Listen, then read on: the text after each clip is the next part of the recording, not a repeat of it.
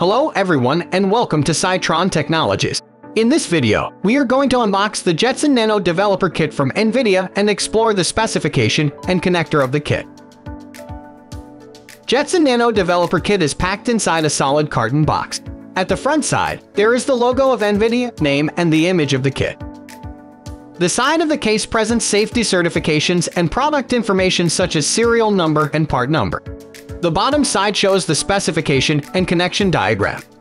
To unbox, use a knife or scissors to cut the sealing tape, then pull it both ways to open the box. The Jetson Nano Developer Kit comes with an extra layer of protection, which is an anti-static bag, or ESD.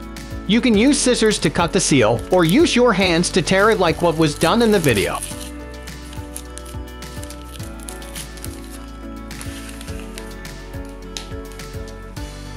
And this is the Jetson Nano Developer Kit from NVIDIA.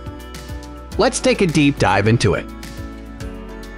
Jetson Nano Developer Kit includes two main parts, namely Jetson Nano Module, development version, and carrier board.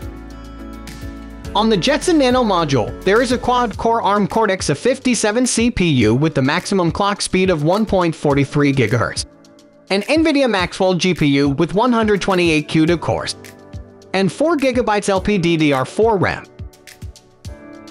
This module is connected to the carrier board via a 260-pin SODIMM connector. The top of the module is a heatsink helping the Jetson Nano work stably. On the underside of the Jetson Nano module, there will be a micro SD card slot.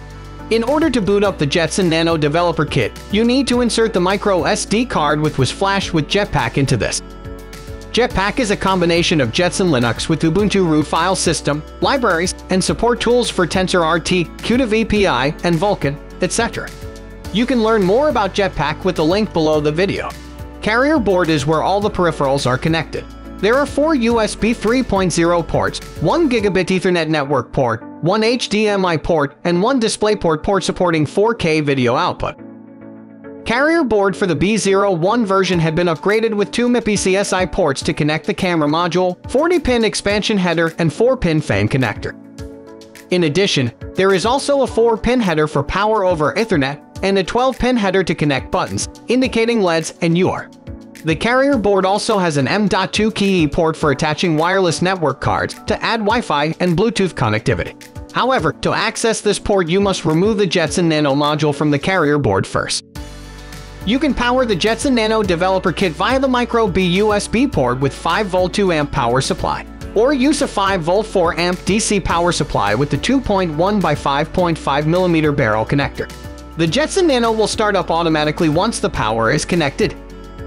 With the power of 128 CUDA cores, the kit is suitable for different applications such as image classification, object detection, segmentation, and robotics development, etc.